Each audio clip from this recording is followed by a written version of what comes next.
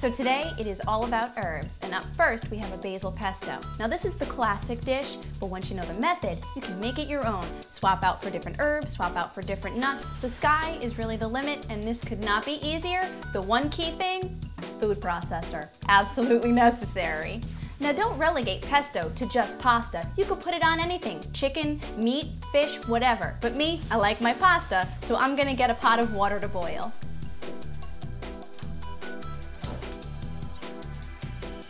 While the pasta water comes to a boil, it's time to get to making our pesto. We need about two cups of fresh basil leaves. I've already started prepping them here, and you really want the cups to be packed in, a little overflowing even. Gotta get that maximum basil flavor. My basil leaves this year are, are like prehistoric size. So now let's pop our basil leaves into the food processor. It's gonna look like a lot, but don't worry because it's gonna basically get pulverized. Okay, so after our basil, you want a quarter cup of pine nuts. Just sprinkle those in there. And of course, a little salt and pepper.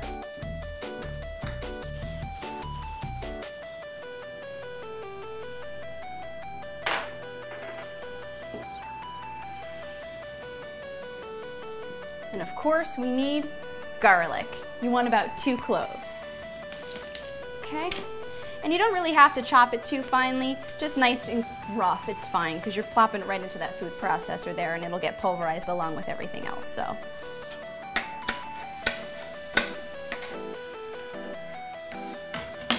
We're just gonna pop it in here.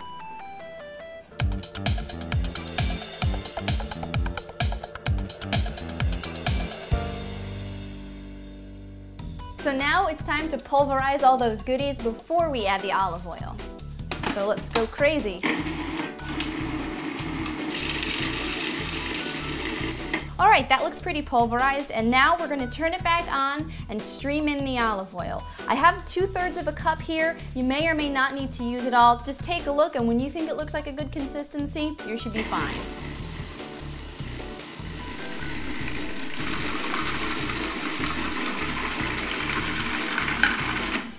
All right, well that looks really good. So now I'm gonna grab a spatula and we'll scrape this out and put it into a bowl.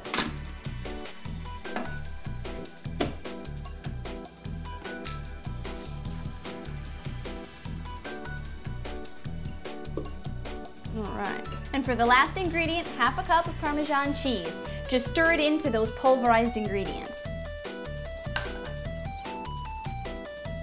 That cheese is nice and well incorporated. And that's it for the sauce. And it looks like the pasta water is boiling, so now let's add our pasta. And always remember to salt your pasta water first before you put it in there. It's really your only chance for the pasta to absorb the salt.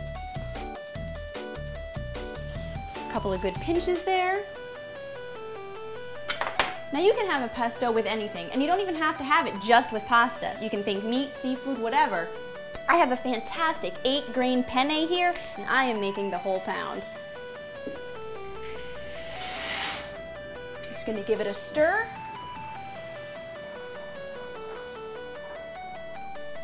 And now I just have to wait.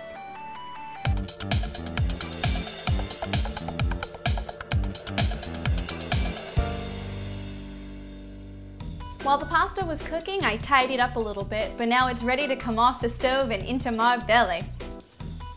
Now we'll just drain this.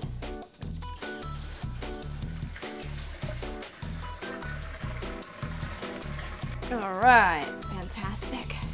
Just shake out some of the excess water. I'm gonna put it right into this giant bowl and bring it on over.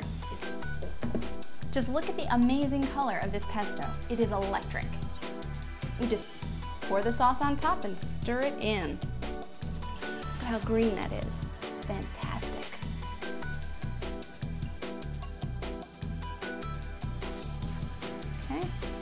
Make this look pretty. Okay, and there we have it, penne with basil pesto.